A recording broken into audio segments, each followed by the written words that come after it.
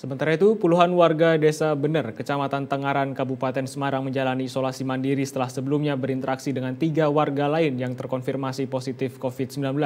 Warga yang positif ini terpapar dari tiga tempat berbeda. Setelah adanya tiga warga di Desa Bener Tengaran, Kabupaten Semarang yang terkonfirmasi positif COVID-19 pada hari Kamis lalu, kini 84 warga menjalani isolasi mandiri sejak hari Jumat. Warga yang diisolasi mandiri ini sebagian juga telah dites swab dan kini masih menunggu hasilnya. Pemerintah desa telah membentuk tim Satgas COVID-19 yang bertugas memantau keamanan dan kebutuhan warga selama isolasi mandiri.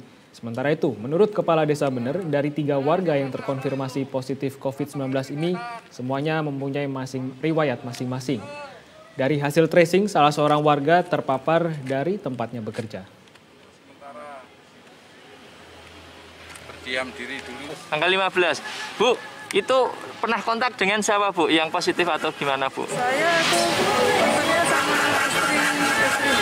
Oh istrinya. Bu, terus kegiatan di rumah apa ini Bu untuk mengisi biar tidak jenuh Bu? Tanam, tanam-tanam. Menanam Bu. Eh, kami beserta Satgas dan Bu Bedan Desa ini eh, kita mengambil langkah sigap.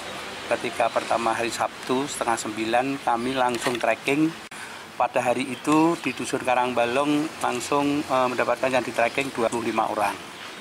Terus hari yang kedua tambah lagi 7 orang sehingga jumlah total yang diisolasi mandiri 32